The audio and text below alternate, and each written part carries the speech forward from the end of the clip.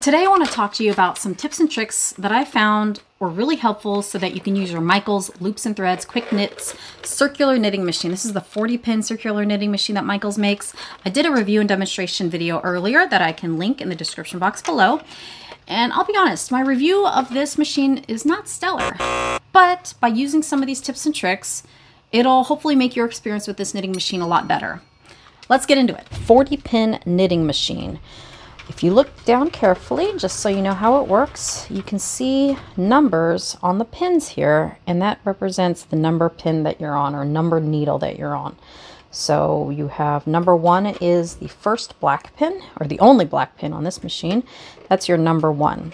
Because the black pin can be hard to see when you're knitting, I went ahead and marked that first between white portion with a Sharpie pen just with black, just so that when I'm knitting around, I can more easily see the black pin.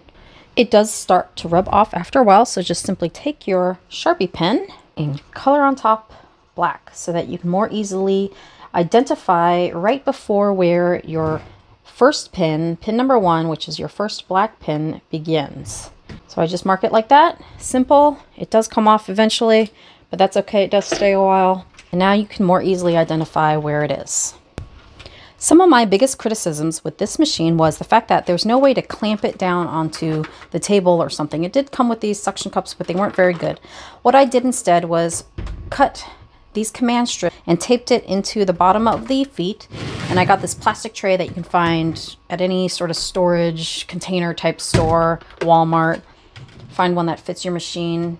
And I just can click it now to that piece so it has a little more stable of a base for the machine. Now it doesn't hold it down to the table, but unfortunately I don't have those situations where I can just clamp it directly to the table or screw it into the table. If you have that ability where you have a spare table and you can do that, I would recommend you go ahead and just either drill or something permanently attach it to your table to have a much more stable base for me because I need a more mobile situation. I just use this tray table, then I can just hold the tray itself while I'm knitting around and that creates a much more stable base for me. Not perfect, but better. The other criticism I had with this machine is the fact that it has no row counter with it. What I've done is purchased a few of these magnets here. And the reason I purchased a few is because I can use my row, digital row counter across several of my knitting machines, like the Sentro 40 pin and the Sentro 48 because the row counter on that has gone bad. This item is quite simple to use, pretty cheap. It just uses a battery here. Just connect the wires pretty easy. To turn it on, you just hold and press this button for a couple seconds. It keeps your row count from the last time you used it, which is really useful. To reset it, you push this button for a couple seconds and it resets it to zero. I have used command strips so that I can attach it to my machine. And I did that with all my machines so that I can transfer it from machine to machine. And then this is the actual counter piece here that reads the magnet to count it attached to the side. So you can see when it passes this magnet, it'll count it. And you'll crank around and it counts one row. When you get all the way to the other side, you'll see the magnet coming around again. It'll go to two. And it goes the other way too. So if you were to crank the opposite way, it goes three. You can see here four, five. And it's a great way to keep track of your count. Or if you uh, want to use it on another machine, you can transfer it to another machine just by using these command strips. Reset it by pushing this button, goes to zero, and turn it off holding it a couple seconds. Really simple, easy use, pretty cheap. These magnets as well, I got a pack of these and you can transfer from machine to machine or glue them. I just use a hot glue gun to stick it onto these little pin, uh, the sides here. It's great. The other nice thing about this, it is compatible with items that the Sentro 40 is uh, has. It's basically the same size handle. So if you wanted to do the power adapter, it's the same exact power adapter that you can use with the Sentro. It fits perfectly over the handle. You just put it right over the top of it. No construction needed.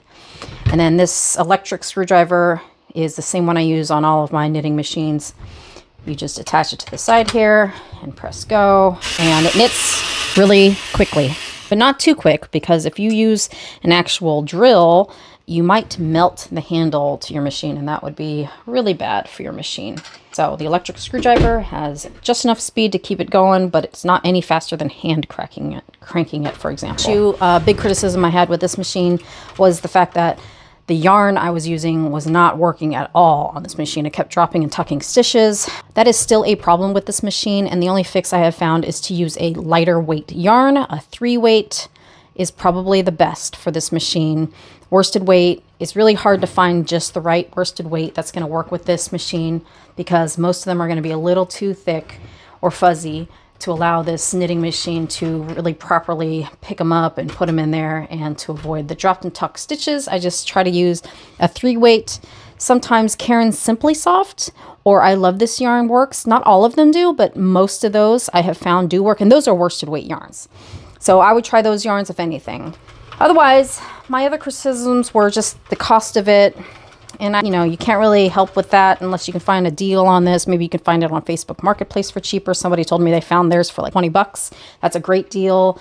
Definitely worth getting it for 20 bucks. I would probably get 30, even 40 bucks. I would definitely get it because that's a lot cheaper than its listed price of around $90.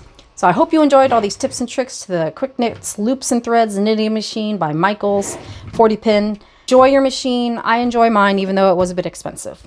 Thanks for watching.